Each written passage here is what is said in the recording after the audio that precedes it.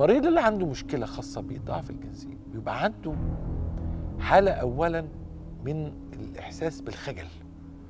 الثقافه بتاعت الشرقيين كده وممكن ما يروحش يكشف عشان عنده الإحساس ده. بعض الناس أحيانا بيكون عنده أعراض شديدة جدا أعراض بس زي ضعف آه، مثلا البول ضعيف بيقطع حرقان شديد في البول آه، فطبعا هو ما بيقدرش إن هو يقيم علاقة جنسية سليمة. إيه معنى كلمة فقدان أو ضعف رغبة جنسية. غياب الرغبة الجنسية من الحاجات اللي ممكن تأثر على الزوج والزوجة. يعني ده مرض بيصيب ال- الراجل وبيصيب الست الاثنين أسباب ضعف الرغبة الجنسية أسباب كتيرة جدا. حضرتك عارف طبعا دايما بن- بنقسمها لحاجتين. حاجة اسمها أسباب نفسية وأسباب عضوية. معظم الناس طبعا عند سن ال- ال ال 45 سنة أو ال أو ال 50 سنة بيحصل تضخم في البروستاتا. لما يحصل تضخم في البروستاتا بتضغط على مجرى البول وبالتالي المريض بيبدأ يشتكي. نبقى الأول عارفين يعني إيه ضعف انتصاب. فهو ضعف الانتصاب هو عدم القدرة على حدوث الانتصاب. يعني واحد ممكن يجي إن هو ما عندوش انتصاب خالص. ممكن واحد يجي يقول والله لما أجي أقرب للزوجة ما يبقاش في انتصاب. طالما فقد القوة والصلابة ده معناه عنده ضعف انتصاب. في شباب كتير بيشتكي من صغر حجم العضو الذكري أو بي المشكلة بتبقى هاجس في دماغهم. هو الحقيقة طبعا ده من الحاجات اللي بنشوفها كتير قوي في العيادة. ناس كتير جدا يمكن أكتر رسائل بتجيلنا على الصفحة عندنا على الفيسبوك وأكتر رسائل بتجيلنا على الواتس وال website بتاعنا هو تكبير العضو الذكري هل الضعف الجنسي الحديث فيه في المجتمع المصري والشرقي يتم ب- أم، بالشكل الكافي؟ لا. ده هرمون الذكورة آه، ده بيحافظ على معدل ضخ الدم للعضو الذكري. بيحافظ على النشوة بيحافظ على القصف بيحافظ على الإحساس نفسه بتاع العضو الذكري موضوع سرعة القصف آه، من المشاكل اللي الشائكه جدا ومن أكثر الاضطرابات الجنسية آه، شيوعا وده بسبب الحرج. آه، المفروض إن ال- ال- الدم بي- بيسري من الخصية في اتجاه القلب في اتجاه واحد بس. علميا بقى إن لو لو طفل عنده تبول لا إرادي ممكن يكون عنده تاريخ عائلي أو تاريخ مرضي لل- أو أو العيلة أو والد أو الوالدة عنده تبول لا إرادي 90% من الناس بيعملوه كله. كله مش حاجة واحدة منه. تدخين وقهوة وأكل سريع و fast food ووزن زيادة ونوم قليل وافلام غلط على الناس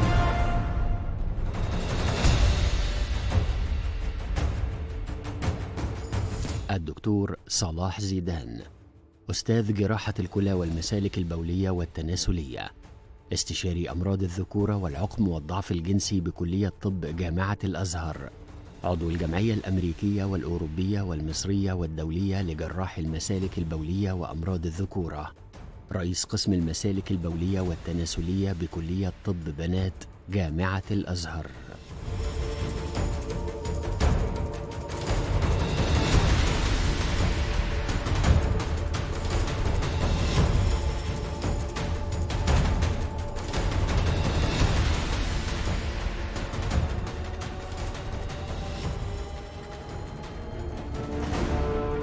لأن البروستاتا مرتبطة بالجهاز التناسلي بعض الرجال بيعتبر الحديث عن مشاكلها أمر محرج لأنها بالنسبة لهم مرتبطة بالرجولة وهنا بتكمن الخطورة لأن تأخير وإهمال علاج تضخم البروستاتا خطير جدا. نسبة إصابة الرجال بتضخم البروستاتا بترتفع مع تقدم العمر بعد سن الثلاثين. واحد من كل 12 رجل يصاب بتضخم البروستاتا في سن الثلاثين للأربعين. ما بين سن الخمسين للستين النسبة بتوصل في المية وبتتخطاها لتمانين في المية بعد سن التمانين. الوقاية من الإصابة بتضخم البروستاتا أمر غير محسوم لأن الأسباب لا تزال غير معروفة إلا أن الكشف المبكر يضاعف فرص الشفاء.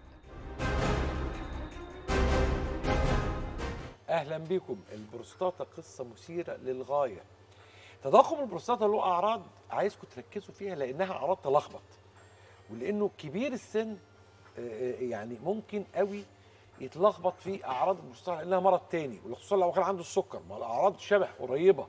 يعني مثلا في حاجة لازم ياخد باله منها قوي اللي عنده تضخم في البروستاتا إنه هيلاحظ إنه خروج البول عنده في ضعف.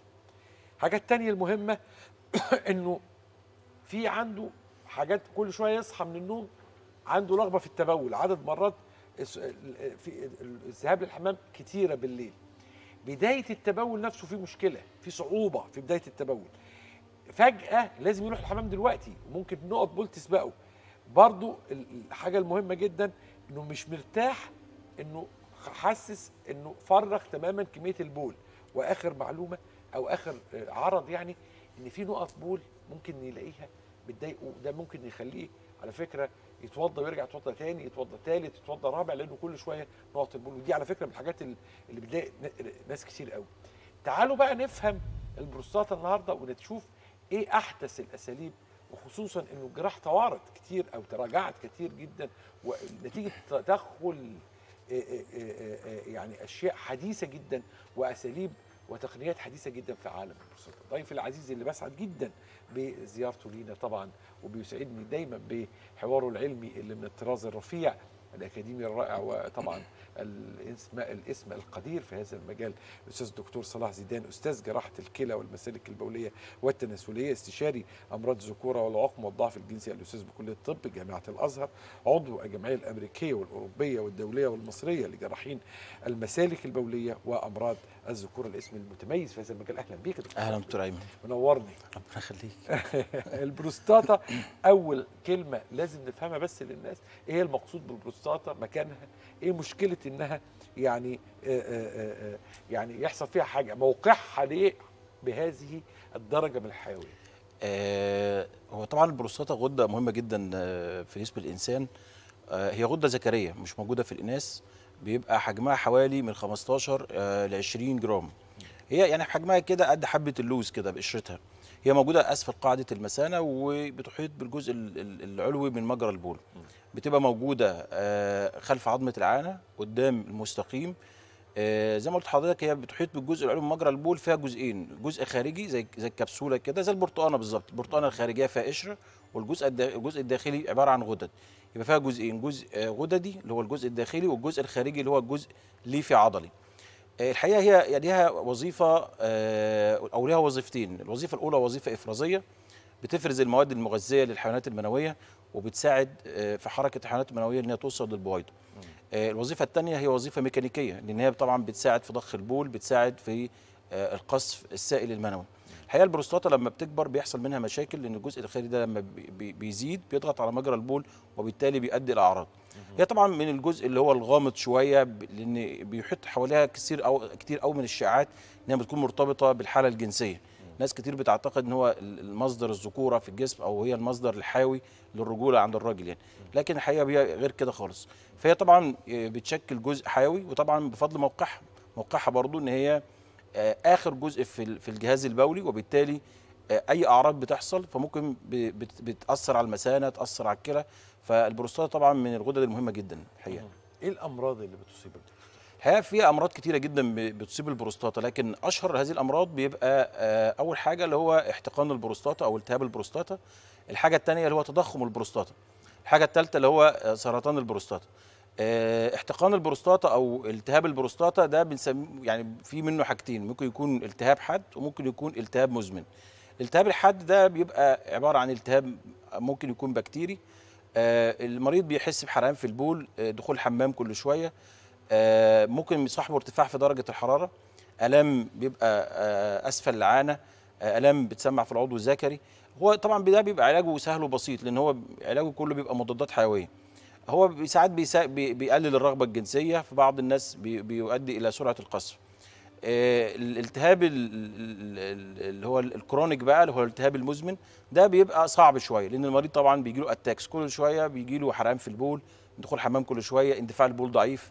تقطع في البول أحيانا بيبقى في آلام بتسمع في العضو الذكري آلام ما بين فتحة ال- الشرج والخصيتين آه، آلام بتسمع في في في, في الشرج. المريض قد يصاب بقصف مدمم آه، قد يصاب بحرقان في البول أو دم في البول. آه، عيبه الوحيد طبعا إن هو المريض طبعا ما بيتحسنش بسرعة. وبالتالي إحنا بنفهم المريض طبيعة اللي عنده وبالتالي بتلاقي معظم ال ال ال ال المرضى بي- بي- بيلف على الدكاترة بيخرج من الدكتور ده يروح لدكتور تاني لأن هو ما بيتحسنش. لكن إحنا لما بنفهم المريض وبنفهم طبيعة اللي عنده وإن العلاج هيطول شوية أحيانا بيمتد لثلاث شهور. فده طبعا من المشاكل الكبيرة جدا. آه، المشكلة الثالثه طبعا هو تضخم البروستاتا. طبعا زي ما قلت لحضرتك برضو إن ده حاجة مشكلة بتحصل مع السن. بيحصل تضخم في البروستاتا وبتقفل على مجرى البول وبالتالي المريض بيصاب بالأعراض.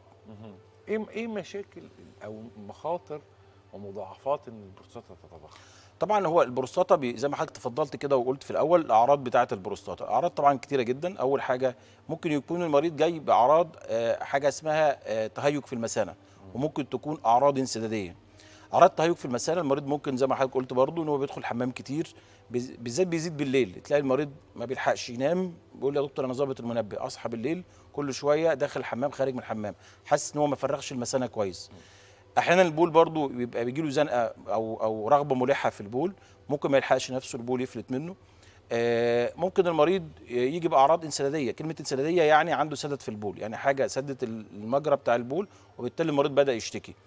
ممكن يجي له إن هو أول ما يبدأ يدخل يعمل حمام ممكن يتحايل على البول بيحزق جامد عشان البول ينزل ولما ينزل ينزل متقطع.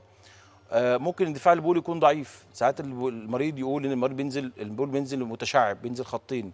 ممكن بعد ما بيخلص حمام حاسس إن هو ما فرغش المثانة كويس. أو في نقطة بعد ما بيخلص نقطتين ثلاثة كده بينزلوا وطبعا دي بتضايقه علشان الصلاة ودي بتبقى أكتر الحاجات اللي هي بتبقى مزمنة وبتضايق المريض. مريض تاني ممكن هو ما يرضاش رايح مشوار ولا حاجة يأجل المشوار بسبب ال- البروستاتا بسبب إن هو عايز يدخل حمام. آه بعض المرضى ما يشربش مية يقول لك أنا مش هشرب مية عشان ما, ما أدخلش الحمام. طبعا دي من الأعراض الكبيرة جدا. طبعا الأعراض دي لو اتثابت بيبقى لها مخاطر كبيرة جدا. أولها إن المريض ممكن يجي له التهاب مزمن يعني ده كل شوية يلاقي التهاب في البول صديد في البول. طبعا هو ما بيفرغش المثانة كويس فبالتالي في كمية بول بتنزل في كمية تانية ما بتنزلش. الكميه اللي بتنزلش دي بيبقى عرضة لتكوين الحصوات عرضة للالتهابات. آه، المثانه نفسها ضخ المثانه على على مجرى البول المثانه نفسها بتضعف مع الوقت وبيحصل في جيوب في المثانه الجيوب دي برضو عرضة للبكتيريا عرضة للالتهابات عرضة برضو لتكوين الحصوات. أحيانا المثانه بتصاب بضعف والضعف ده ممكن يعمل ارتجاع للبول لأن الصمام ربنا خلق البول بيمشي في اتجاه واحد من من الكلى للمثانه لما بيحصل ضعف الصمام ده بيفوت يبدأ المية نفسها ترجع على الكلى وبالتالي المريض ممكن يجي بارتجاع مية على الكليتين ممكن يجي بفشل كلوي. بعض الناس ممكن يصاب بسلس بولي يعني المريض لو اتساب فترة طويلة جدا ساعات لما بيجي له احتباس مزمن. المثانة بدات تضعف بدأ الإحساس يقل بدأ كمية البول هو بينزل شوية والباقي بيستنى جوه.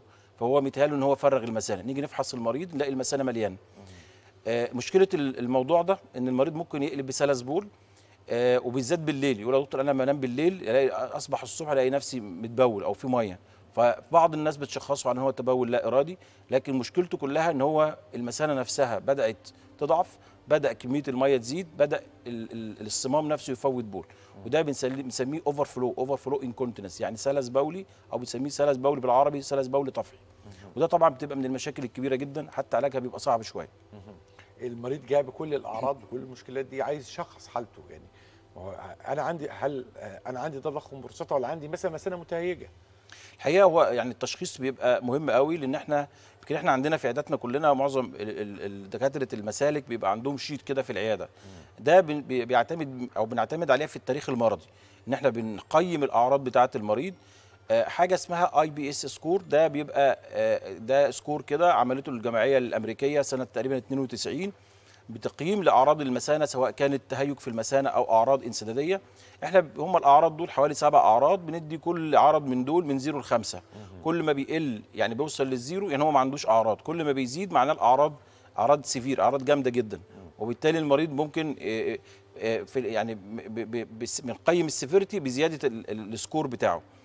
في عرض تاني اللي هو ال quality of life نبدأ نقول بقى في الآخر هو قادر يكمل كده ولا مش قادر. نبدأ ندي له score من آه، من zero لسبعه ده أعراض بسيطة وما فيهاش أي مشاكل. ممكن بنمشيه حاجة اسمها watchful waiting يعني بنحطه تحت المراقبة أو تحت الملاحظة وبنفهمه الحاجات اللي هي ممكن يبعد عنها أو الحاجات اللي هي ممكن تؤدي إلى زيادة أعراض البروستاتا. آه، ال- ال- التقييم الثاني بيبقى من 8 ل 19 ده بيبقى متوسط. ده ممكن يمشي علاج دوائي ومفيش منه مشكلة.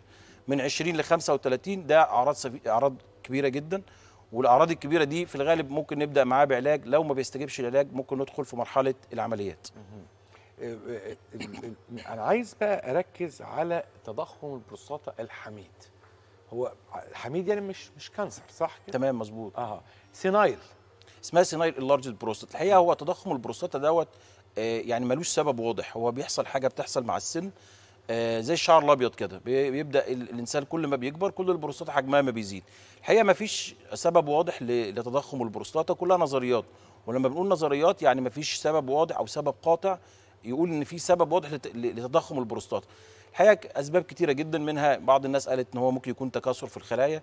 آه، بعض الناس قالت إن هو ممكن يكون التهاب بكتيري أو التهاب فيروسي أو آه، التهاب متكرر في البروستاتا قد يؤدي إلى تضخم البروستاتا. آه، أحيانا بعض الناس اللي عندهم تاريخ مرضي يعني بعض الناس اللي عندهم في العيلة والده آه، حد قريبه كان يعني عنده مشكلة في تضخم البروستاتا قد يصاب بتضخم البروستاتا النظرية الحقيقة اللي هي المقبولة شوية اللي هي نظرية الخلل الهرموني. يعني لو في اضطرابات في الهرمونات هرمون الذكورة قد يؤدي إلى تضخم البروستاتا العلاجات في دوائية في علاجات جراحية وفي علاجات حديثة.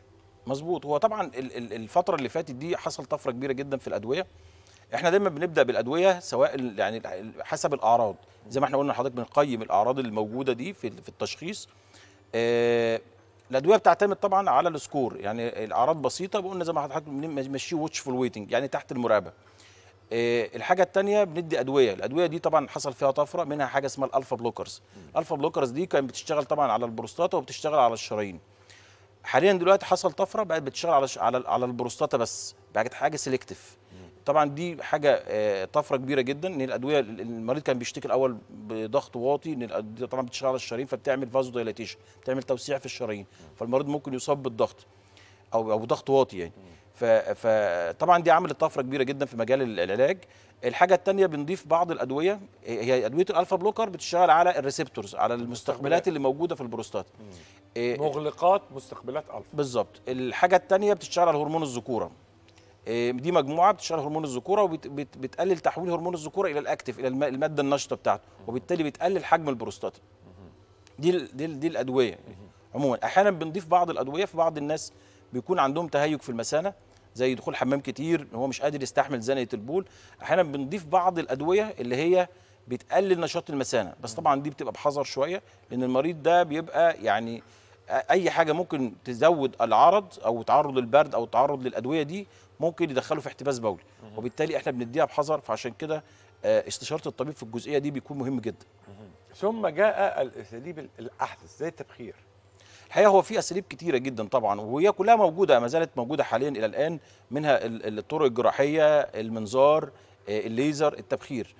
آه، طبعا الطرق الجراحية ما زالت موجودة بس طبعا هي كان ليها مشاكل شوية. الطرق الجراحية إن إحنا المريض بيتعرض آه، طبعا كانت البروستاتا لما تكون صغيرة حوالي 80 جرام بنقول ده بيعمل منظار. البروستاتا لما تكون كبيرة فوق ال 80 بنبدا نعملها بطرق جراحية. آه، الفكرة الجراحة إن إحنا بنعمل enucleation يعني بشيل الغدة أو بشيل الجزء المتضخم من البروستاتا. المشكلة إن هي كانت عملية إحنا بنعملها بس يعني بن بنفصل الغدة أو بنفصل الجزء المتضخم من الكبسولة بتاعتها. إحنا ما بنبقاش شايفين فيها جزء كده بيتشال blindly يعني بشيلها كده وأنا مش شايف. قابلية النزيف فيها طبعا بتكون عالية جدا. المريض ببقى محضر له دم قبلها طبعا دي من كانت من ضمن المشاكل. آه، المنظار طبعا جه بعد كده. المنظار آه، برضو من الطرق الكويسه وما زال برضو موجود إلى الآن. آه، هو مشكلته الوحيدة إن إحنا بنستعمل ماء معقم أو ماء معقم. الماء دوت الميه دي ممكن ساعة ما بنشيل البروستاتا بالمنظار بيحصل absorption يعني بيحصل امتصاص للمية. وبالتالي بيبقى أنا ببقى أكون حذر جدا وأنا بشتغل بالمنظار. لأن المية دي قد يح... ممكن يحصل لها امتصاص. وبالتالي بتخش على الدم فبيحصل تخفيف للمعادن الموجودة في الدم. فبيدخل في حاجة اسمها TUR syndrome أو آه، بيحصل intoxication أو المية نفسها لما بتزيد ممكن تحصل حاجة اسمها brain edema أو زيادة المية في آه، المخ. قوارض في المية في المخ. دلوقتي حاليا حصل طفرة بقى دلوقتي في مجال ال- التبخير. دي حاجة اسمها طاقة البلازما. الطاقة دي بتعمل على تبخير البروستاتا بتخليها زي الرذاذ كده. فكرة البلازما طبعا دي بتشتغل في محلول ملح. محلول الملح دوت آه، حاجة زي المحلول الفسيولوجي. المحلول الفسيولوجي بتاع الجسم. فبالتالي ما فيش منه خطورة خالص. إحنا زمان كنا بنخاف من وقت العملية في المنظار. أنا عيني على ال monitor وأنا شغال بحسب وقت العملية من أول ما أبدأ. لو في أي أوردة أي حاجة في آه، نزيف أو حاجة بقى ببدأ أقفلها بسرعة عشان ما يحصلش امتصاص للمية. لا دلوقتي التبخير دلوقتي آه، قابلية النزيف قليلة جدا. الفيجن بتاعه أو الصورة أو بيبقى واضح. هو في ميزة كبيرة جدا هو بيجمع آه، الطرق الجراحية بيجمع ميزة المنظار بيجمع ميزة الليزر وبأقل تكلفة. فبالتالي هو ب- بنستعمله في المريض اللي هو آه، عنده قابلية أو عنده قابلية التجلطات عالية. المريض اللي عنده سيولة الدم عالية جدا. المريض اللي عامل قلب مفتوح أو المريض اللي هو ماشي على أدوية سيولة. فبالتالي إن هو بيقفل بيقفل الأوردة بيقفل الشرايين وبعد التبخير. في ميزة كبيرة جدا إن هو ممكن أنا أستعمله في الاثنين إن أنا أعمل تبخير وفي نفس الوقت بعمل استئصال. وبنطبقه أحيانا برضه على أحجام كبيرة لأن دلوقتي شفنا بقينا بنشوف أحجام كبيرة في البروستاتا. آه، طبعا مع التقدم في السن ومع العلاج الدوائي فمتوسط أعمار الناس بقى يزيد. والعلاج الدوائي برضه بقينا نشوف حجم بروستاتا كبيرة جدا. فبالتالي دلوقتي ال- التبخير حل المشكلة دي. هو طبعا بيختلف طبعا هو بيعتمد جزء كبير جدا على خبرة الجراح. يعني في ناس تقول إحنا بنشيل الجزء المتضخم في البروستاتا. هو بي وناس في في المنظار لا إحنا بنشيل الجزء المتضخم بس. شوية نلاقي ناس بعد فترة لقينا البروستاتا رجعت له تاني بعد ست شهور أو بعد سنة. هي الحقيقة هو الموضوع بيختلف من خبرة الجراح لأن هو آه، ده ليه عامل كبير جدا آه، في التكنيك في الشغل نفسه في ال skills في المهارة. فبالتالي هو بالحقيقة يعني هو magic حاجة حاجة سحر دلوقتي. الحقيقة عملت آه، طفرة كبيرة جدا. هقف قدام نقطة مهمة قوي قوي. عملية البروستاتا آه، في ناس تعتقد إنها تؤثر على الانتصاب. في ناس بيبقى عندها البروستاتا وبتعاني من أعراضها مش عايزة تعمل أي نوع من التدخلات عشان خايفة على الانتصاب أو آه، سمعت معلومة لا يا عم دي بتعمل ضعف جنسي أو عجز. هو الحقيقة طبعا هو عنده حق طبعا اللي بي بي بي بيفكر في الموضوع ده طبعا. لكن هو ال- الفكرة ال- الارتباط البروستاتا بالضعف الجنسي كان بسبب الأعراض. يعني قبل العملية بيكون بسبب الأعراض. هو راجل عنده حرقان في البول اندفاع البول ضعيف عنده ألم مش قادر يستحمل فبالتالي مش هيفكر في الجنس. فبالتالي ده بيبقى هو أصلا عنده بي- بيصاب بالضعف الجنسي والغالب بيبقى نفسي. الحقيقة إن بعض الناس بعد العمليات بتاعة البروستاتا وخصوصا التبخير بيحصل تحسن كبير جدا. بنلاقي حوالي 30% من الناس بدأت تتحسن لأن هو خلاص مشكلته بدأت تتحسن مشكلة البول بدأت تبقى كويسة. إحنا كنا زمان بنخاف من هو حاجة أو في بعض ال studies أو بعض الدراسات بتقول إن هو حاجة اسمها ال thermal effect هو تأثير الحراري أو تأثير الكهرباء على إن هو كان في عصب بيبقى ماشي ورا البروستاتا ده بيتأثر شوية فبالتالي بيصاب بالضعف الجنسي. الحقيقة هو هي كلها دراسات لسه ما فيش حاجة قاطعة بتقول إن هو آه، بيأثر ولا لأ لكن هو أثبت دلوقتي حاليا ال- التبخير من ضمن الحاجات اللي هي آه، ممكن تأثيرها بيكون قليل جدا. هو ممكن يبقى فيه تأثير على القذف شوية لكن تأثير على الانتصاب في الغالب بيبقى قليل. آه، يمكن حاليا دلوقتي كمان بعض الناس بدأت تعمل تكنيك جديد اللي هو آه، بيحافظ على القذف بيسيب جزء معين اللي هو جنب الجزء اللي بيخرج منه السائل المنوي وبالتالي ده بيقلل موضوع ارتجاع القذف. ارتجاع القذف يعني. آه المريض ممكن يصاب بقذف مرتجع بعد العملية. دي أشهر حاجة أو دي فبالتالي يقول مفيش قذف أساسا. حاليا دلوقتي في بعض التكنيك أو modification شوية على ال على ال على الحاجة دي فبدأ القذف نفسه بدأ يتحسن. في عجالة بقى هل يمكن الوقاية من تضخم حضرتك؟ الحقيقة هو ممكن طبعا بس هي في بعض النصايح طبعا بنقولها خصوصا بقى يعني هو في نصايح للشباب وفي نصايح لكبار السن. آه، نصايح للشباب طبعا اللي هو الإنسان اللي بيتعرض لإصابات جنسية كتير آه، ممارسة العادة السرية آه، الناس اللي بتتعرض للبرد فترات طويلة بعض الناس بقى شرب المياه الغازية الإمساك المزمن. طبعا الابتعاد عن كل الأشياء طبعا نبعد عن الحاجات دي. خالص. الناس اللي هو بيتعرض لاحتقانات شديدة آه، الناس اللي بت- اللي بتحاول ساعة ممارسة ممارسه الجماع أو حاجة فبيأجل موضوع القذف. قد يصاب طبعا باحتقان البروستاتا أو التهاب البروستاتا. آه، الناس اللي كبار السن إحنا بننصح طبعا بإن إحنا نعمل كشف دوري على البروستاتا آه، أو كشف يعني في الغالب فوق ال 45 سنة الناس اللي عندهم تاريخ مرضي الناس اللي عندهم فوق ال 50 سنة برضو بنحاول إن إحنا نعمل تحليل ال PSA تحليل دلالات أورام البروستاتا. ده, ده ده حاجة معينة بتكشف أو لما بتزيد بنشك إن يكون في مشاكل في البروستاتا. آه، الأشعة الموجات الصوتية طبعا دي بيدينا دلالة جدا على كمية البول بعد التبول حجم البروستاتا الكلى هل في مشاكل أو في مضاعفات ولا ما فيش. طبعا برضو بنحاول إن إحنا ما نخلطش بعض الأمراض وبعضها لأن الناس كتير بتعتقد زي ما حضرتك قلت في الأول كده هو بيدخل الحمام بيفكر إن هو عنده سكر بعض الناس تقول لك ده أملاح. فطبعا خلط بين الأمراض وبعضها أو الأعراض وبعضها ده بيبقى مشكلة كبيرة جدا. كمان ناس آه، مهم قوي إنها تعمل assessment لو خصوصا لو في تاريخ مرض بسرطان البروستاتا. طبعا مهم جدا. ده مهم الحقيقة. جدا جدا. وله قصة تانية هنتكلم عليه لكن البروستاتا تبقى من المواضيع الخطيرة جدا جدا. ومفيش خلط. أرجوكم ما تخلطوش بين تضخم البروستاتا الحميد وبين سرطان البروستاتا لأن دي قصة تانية خالص. ضيفي العزيز الاسم المتميز وصاحب المقدرة العلمية المتميزة الأستاذ الدكتور صلاح زيدان أستاذ جراحات الكلى والمسالك البولية والتناسلية استشاري أمراض الذكورة والعقم والضعف الجنسي بكلية الطب جامعة الأزهر عضو الجمعيه الأمريكية والأوروبية والدولية والمصرية لجراحين المسالك البولية وأمراض الذكورة نورتني شكرا شرفتني دكتور صلاح. خليكم دايما مع ناس